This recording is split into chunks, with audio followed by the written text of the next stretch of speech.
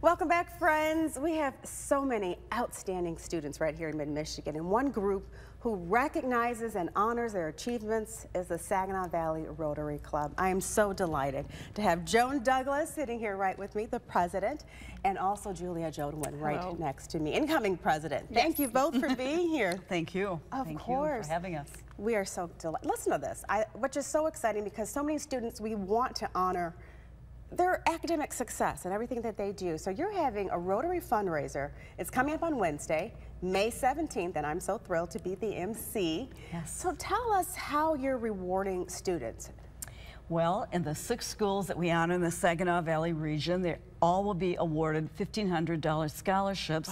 They're selected from their local teachers, counselors, principals. Yeah. And that includes Carrollton, Freeland, Heritage, Nouvel, Swan Valley, and Valley Lutheran schools. We also have two Rotary uh, members who have students also graduating. We always honor our Rotary members, students if they have excelled as well. So actually eight scholarships this Eight year, which is exciting. That's terrific. And we have some pictures yes. of them we're going to put up because we Uh-huh. definitely want to, want to see them. Wonderful. Yeah, Della Ansel, Sophie Maxwell, Natalie Sika. Uh-huh. Yeah, Seth Vika, Ravachandran. Beautiful. And Nathaniel Koffel is there, Mm-hmm. as well as Christy Smith and Margaret Meyer and Hannah Taylor. Mm-hmm. So this year's event is so exciting. It's at the Saginaw Country Club. The doors open at 5.30. So what can our friends enjoy if they attend? Well, when they walk in at 5:30, they'll be rec- they'll be welcomed Yeah. by Lori Middlebrook and friends. And they are a wonderful group that Ah. have performed for over 30 years. So there's music, there's entertainment, there's Colette to lead us through the whole evening. Yes.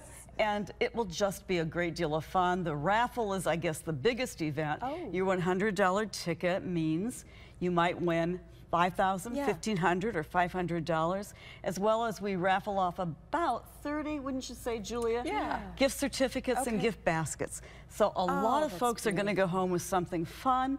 And the hors d'oeuvres from Chef Jacob. Mm-mm-mm. Oh, we're and gonna the have a Sag- great oh, time. the Music, Saginaw. Country Club is doing a dessert table Okay. Good food, good entertainment, and a great benefit for students. And I have to ask you, Julia, how did Student Scholarship become one, uh, your club's funding priority? So this tradition goes back longer than I've been a Rotarian. Yeah. Um, for about 10 years now, we were trying to determine, we have given scholarships to seniors from our local high schools.